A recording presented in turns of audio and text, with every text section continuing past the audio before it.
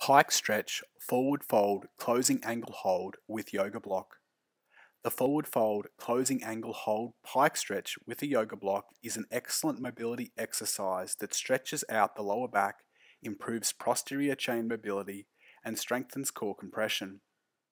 During pike stretches, the aim is to suck the belly button up and in, which activates the hip flexors and pulls the pelvis into an anterior pelvic tilt. In this version of the pike stretch, the yoga block adds additional feedback that helps to cue this process. Start in a standing position with the feet together and the knees locked. Contract the quads to pull the kneecaps up and push the knees back.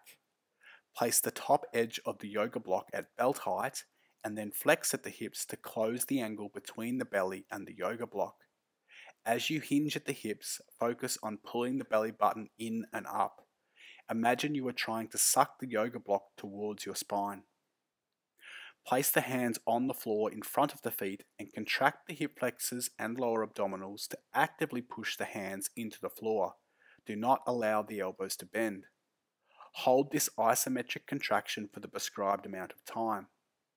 Now, reach the hands back behind the feet as far as you can before contracting the hip flexors and the lower abdominals to actively push the hands into the floor again.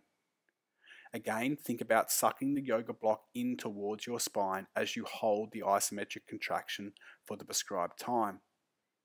Now, reach the hands back even further and repeat the process again.